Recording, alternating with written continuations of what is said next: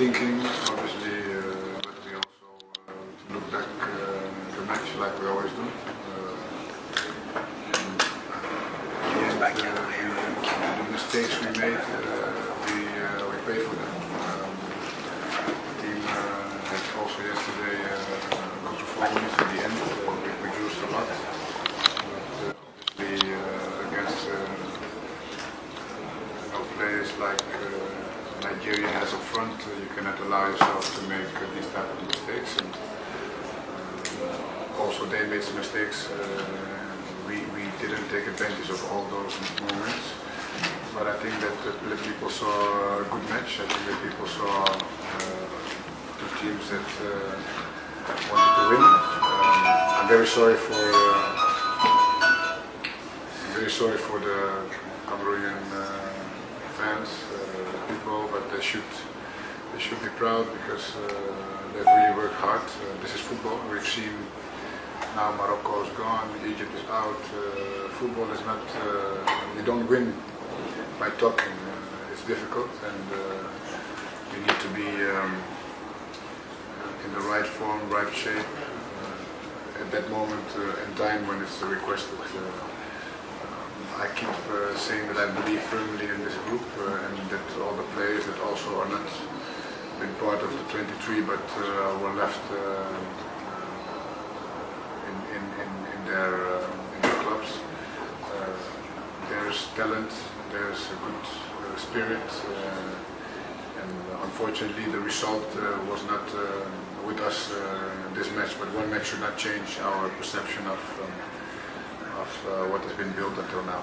Coach Nje Enerbar from Cameroon Radio Television, not the sort of news that you would expect to get this morning, but there are um, voice notes from a player or two that's filtered out. I'm pretty sure you've listened to it already, where they're talking about the fact that some of the choices that you've made were influenced by players, by agents, and that um, you didn't bring the best players to the competition. I don't know if you've listened to the voice notes. If you have, how would you react to this? No, I don't have to react on, on, on voice notes of anybody. Uh, I think that the one thing I've shown uh, from day one is that I'm very independent on, on my choices. And, uh, I've not been even interested in, uh, in knowing what kind of connection there are. I don't have a relationship with agents, uh, even if agents have called me but uh, probably one of the agents that I have best relationship with, I left his player home. So uh, that that I can understand disappointments from players, but I hope that uh, they will think twice because they don't do anything for me. It's more towards their their uh, teammates if they have said these things, which is also something we need to verify. there's a great team spirit uh, from we started in Madrid. Uh, it continued to Doha. It continued uh, here in Egypt. And unfortunately now, you know, we had this result that is not favorable. Some people will take advantage. You start uh, finding all kinds of excuses uh, and try to create uh, problems. And I hope the players, the group will stay united in these things and will uh, continue to protect what they built.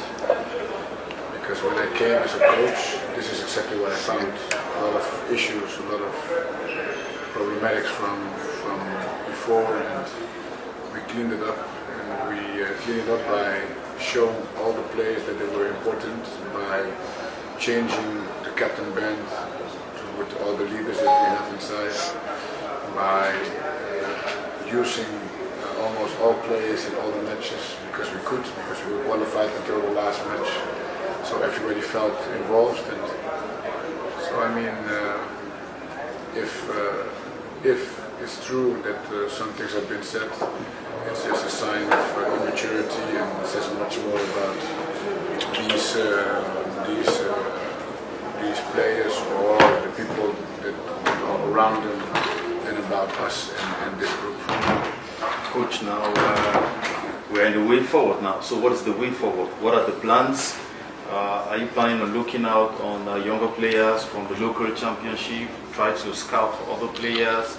Uh, what is the plan? What do you plan ahead now for the team? Uh, I think that uh, we all, like you guys, have uh, had a long, uh, long uh, journey. We wished it would be longer, but it's, it's a good moment to reflect now and to to to reflect and and, and then start planning for the future. Uh, I think that is something that uh, the president of Fecafoot will, uh, will start doing and uh, is doing already with uh, the organization. Uh, but the Blaze have had a long season. We have had a very intense journey until now. So I think the first thing is to, to, to just relax a little bit and reflect. Coach Nje here again. Um, 2021, Cameroon will be hosting the Africa Cup of Nations. Uh, next year in January, um, Cameroon will host the Africa Nations Championship. That's for the home-based players. Are you already thinking about the 2021 edition? And are you hoping to tap from the team that we've got in 2020 in CHAN for the 2021 uh, AFCON? Well, um, uh, as I said before, I think that uh, after you know a loss uh, with a disappointment and uh, all the emotions going on for everybody, for, for us, for the players, for the, for the for the people, uh, for Fecafoot, for, for, for the country at all. Um, it's good to just uh, have a moment of reflection and, and just let sink everything down and um, things for Cameroon won't change. I said it, uh, I would have never signed uh, with uh, with if I didn't believe in in what could be achieved and the development of football in Cameroon to, to be a part of that and to make a contribution. Um, unfortunately, uh, in football, it's you know not possible uh, to to uh, look too far ahead because there are always important um, appointments like we're now set already in 21 is already AFCON and then uh, you turn your head around and then you're already at qualification for the World Cup. Uh, so we know how that goes in football but uh, what I am proud of is that we have done a lot of uh, work uh, also off the pitch uh, that hopefully will uh, will continue uh, with, or, with or without us uh, in the right direction in terms of organization, professionality, in terms of uh, you know work work ethic. Um, when we came, I remember a lot of criticism about that the Lions were not showing the fighting spirit anymore, and I think that also that we have seen again team that would never give up until the last minute of the match, even yesterday. So um, a lot of positive things that uh, that hopefully will continue. And um, as you said, uh, there will be time to to to then go back into detail and, and, to look into how the future can be uh, continue to build for for a generation that is coming, which is also very very interesting. Coach, if you if you want to look back, every person at one point has a regret. What would you say uh, would be your greatest regret of the tournament up to this moment? Well, one regret is that uh, that uh, I think that um, CAF didn't give us the opportunity to have uh, uh, another player. I think that was uh, a mistake, uh, a fair play mistake, in my opinion, uh, because uh, a player that cannot uh, is at risk to die on the field uh, is an injured player. So I mean, the interpretation of that for me was is still unclear. Uh, I know that they are thinking about changing. Uh, and, and describing that rule uh, better. But that, that probably is the biggest thing because uh, all the other stuff, you know, um, I think that uh, the group has, has really worked well. That work with discipline, that work with uh, desire, uh, that work with focus. Um, I think from the staff point of view, we, we have uh, tried to create the best conditions for them and prepare the matches as good as possible.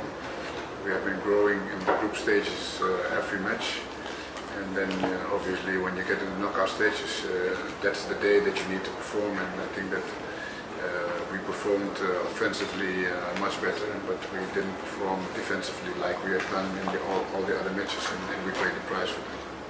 Coach, uh, if there was that was your first AFCON as a, as a coach, uh, what would you keep in mind? What will, will be one memory that you will keep with you for this discovery of the AFCON?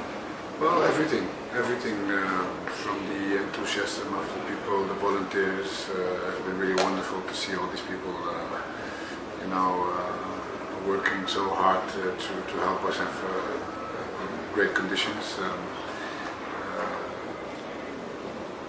the commitment of the players to their, their, their country, to Africa. Uh, wonderful, to see uh, the growth of the smaller countries as well. Uh, Benin is an example of that, uh, which is meaning that, uh, that football is growing in, in Africa. The tactics and the technical aspects growing for other countries, so it's even more competitive. It's already competitive, even more competitive.